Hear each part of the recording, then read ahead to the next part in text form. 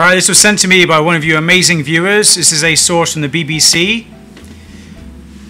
Gymnast Carlos Yulo, given cash, home, and free ramen noodles after Olympic success.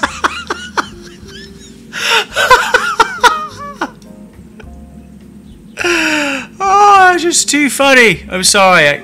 Comments below.